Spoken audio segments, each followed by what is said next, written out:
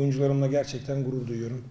Bugün eee, maçın hiçbir bölümünde, hiçbir is- istatistikte, koşu mesafelerinde, kornerlerde, eee, şut istatistiğinde eee, geri düşmediğimiz, devamlı oyunun içinde olduğumuz, ilk yarısında çok üretken olup eee, vuruş becerisini gösteremediğimiz, ikinci yarısında daha az üretken olduğumuz bir maç. Eee, kaybettik maalesef. Eee e, oyuncularım ilk yarı gerçekten söylenen her şeyi yaptı. Fenerbahçe'nin maça 4-1-3-2 düzeninde başlayıp Arao'nun iki savunmacının arasına girmesinden sonra 3-5-2'ye döndüğünü biliyoruz.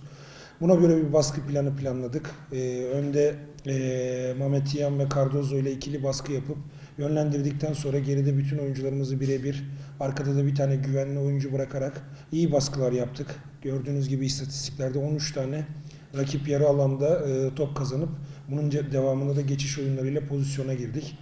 Yani aslında maç e, tam planladığımız gibi, istediğimiz gibi gitti ama e, kaliteli vuruşlara teslim olduğumuzu söyleyebilirim. Özellikle Ferdi'nin atmış olduğu ikinci gol muhteşem bir gol. Onu tebrik ediyorum. Ama bizim için e, kalp kırıcı oldu biraz. E, ikinci yarı daha üretken olabilirdik ama Fenerbahçe 1-0'ın vermiş olduğu avantajla biraz daha güvenli durdu.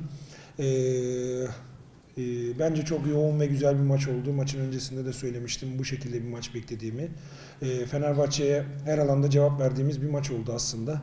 E, galibiyetlerinden dolayı Fenerbahçe'yi kutluyorum. Bundan sonraki lig serüveninde başarılar diliyorum.